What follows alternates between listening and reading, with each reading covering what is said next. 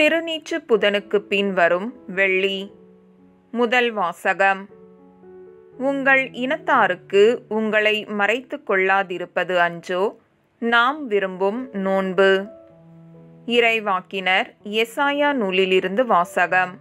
அதிகாரம் ஐம்பத்தெட்டு இறைவசனங்கள் ஒன்று முதல் ஒன்பது வரை. இறைவனாகிய ஆண்டவர் கூறுகிறார் பேரொளி எழுப்பி கூப்பிடு. நிறுத்திவிடாதே. எக்காலம் முழங்குவது போல் உன் குரலை உயர்த்து. என் மக்களுக்கு அவர்களின் வன் செயல்களையும் யாக்கோபின் குடும்பத்தாருக்கு அவர்களின் பாவத்தையும் எடுத்துக் கூறு. அவர்கள் நேர்மையானவற்றை செய்யும் மக்களினம் போலும் தங்கள் கடவுளின் கட்டளையை கடைப்பிடிப்போர் போலும் நாள்தோறும் என்னை தேடுகின்றார்கள். என் நெறிமுறைகள் பற்றிய அறிவை நாடுகின்றார்கள். நேர்மையான நீதி தீர்ப்புகளை என்னிடம் வேண்டுகின்றார்கள்.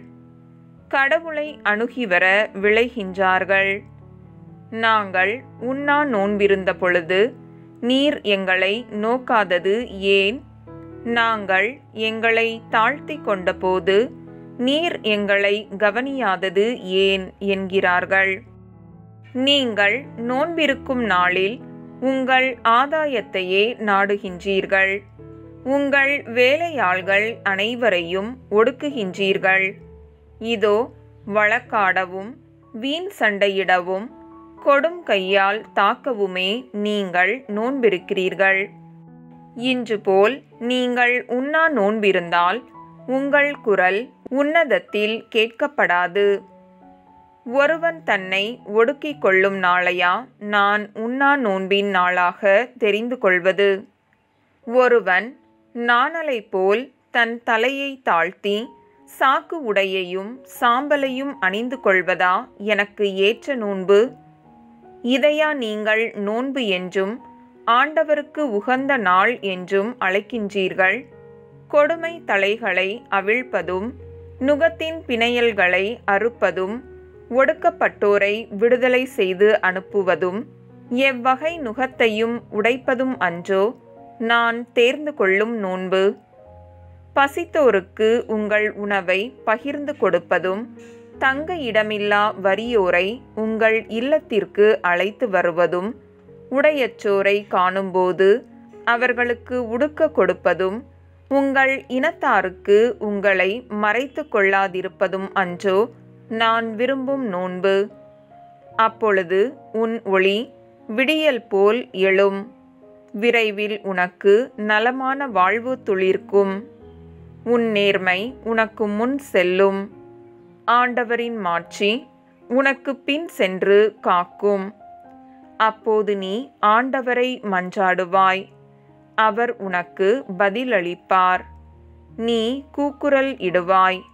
அவர் இதோ நான் என மறுமொழி தருவார். இது ஆண்டவர் வழங்கும் அருள் வாக்கு. இறைவா உமக்கு நன்றி. பதிலுரை பாடல்.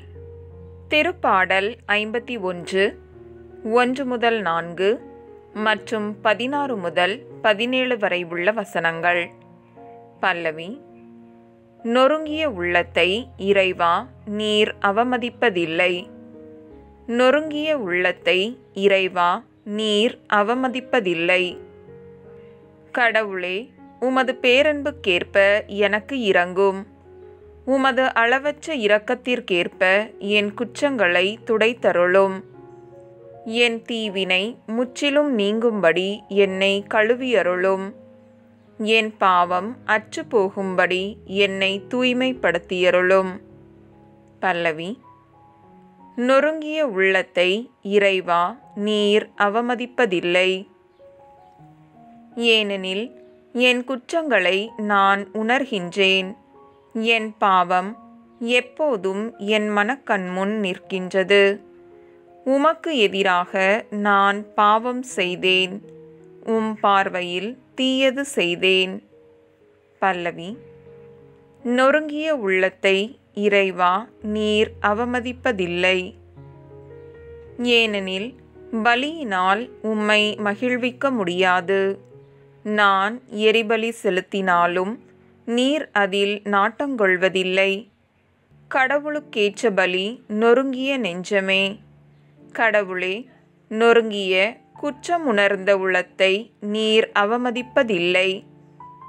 பல்லவி நொறுங்கிய உள்ளத்தை இறைவா நீர் அவமதிப்பதில்லை. நொறுங்கிய உள்ளத்தை இறைவா நீர் அவமதிப்பதில்லை. நற்செய்தி வாசகம். நன்மையை நாடுங்கள். தீமையை தேடாதீர்கள். அப்பொழுது படைகளின் கடவுளாகிய ஆண்டவர் உங்களோடு இருப்பார். புனித மத்தையோ எழுதிய தூய நற்செய்தியிலிருந்து வாசகம் அதிகாரம் ஒன்பது இறை வசனங்கள் பதினான்கு முதல் பதினைந்து வரை. அக்காலத்தில் யோவானின் சீடர் இயேசுவிடம் வந்து நாங்களும் பரிசெய்யரும் அதிகமாக நோன்பிருக்க உம்முடைய சீடர்கள் ஏன் நோன்பு இருப்பதில்லை? என்றனர். அதற்கு இயேசு அவர்களை நோக்கி மணமகன் தங்களோடு இருக்கும் வரை மணவிருந்தினர்கள் துக்கம் கொண்டாட முடியுமா? மணமகன் அவர்களை விட்டு பிரிய வேண்டிய காலம் வரும். அப்போது அவர்களும் நோன்பு இருப்பார்கள். இது கிறிஸ்து வழங்கும் நற்செய்தி. கிறிஸ்துவே உமக்கு புகழ்.